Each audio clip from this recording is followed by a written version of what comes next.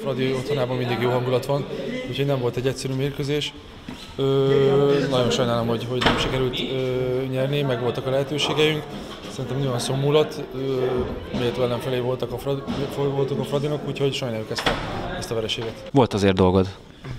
Igen, voltak a, voltak a Diózsőrnek komoly, komoly helyzetei, szerencsére megúsztuk az összeset, mi pedig ugye kétszer be tudtunk találni.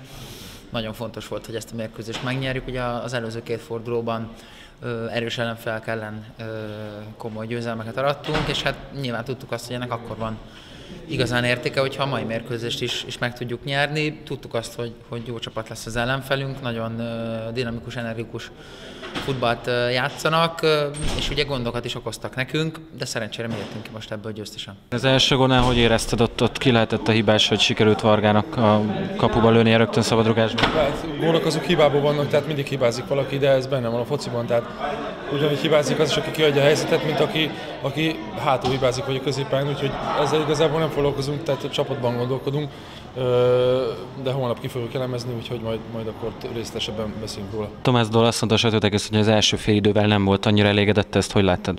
Hát mi sem voltunk elégedettek, nem tudtunk kombinatív játékot játszani, nem tudtuk a, a földön tartani a labdát, készültünk arra, hogy a Diós Győr le fog támadni, és, és emiatt majd hosszú labdákkal, illetve, illetve oldalváltásokkal tudunk esetleg eredményesek lenni. Ebből, ebből kevés jött össze az első félidőben, úgyhogy hát a másodikra változtatnunk kellett. Szerencsére jó időben jött a gól és, és nyilván utána meg egészen más lett a mérkőzés, a Diós Győr jobban, jobban kinyílt, ott már több lehetőségünk volt arra, hogy, hogy kontrákat vezethessünk, és akkor több volt is szerezhetünk még.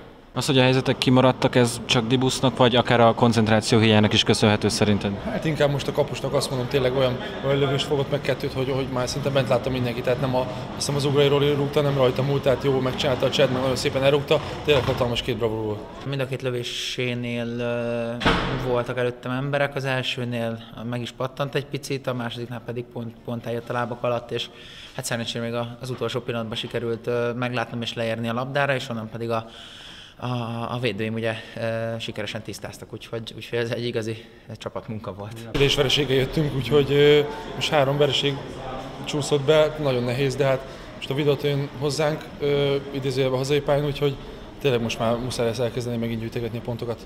Hangulat így milyen az öltözőben? Hát nem az igazi természetesen, ugye nem olyan, mint amikor győzelem után vagyunk, de ez természetes, de abszolút keményen dolgozunk, mint ahogy idáig is megpróbálunk is későbbünk ebből. Ez a bajnokság megmutatta, hogy, hogy itt nincs előre lefutott mérkőzés, elég jó, elég jó szériában vagyunk most ugye. Mm, nyilván a válogatott szünet előtt ez az utolsó mérkőzés, erre nagyon oda kell figyelni, hogy hogy nagyon komolyan vegyük.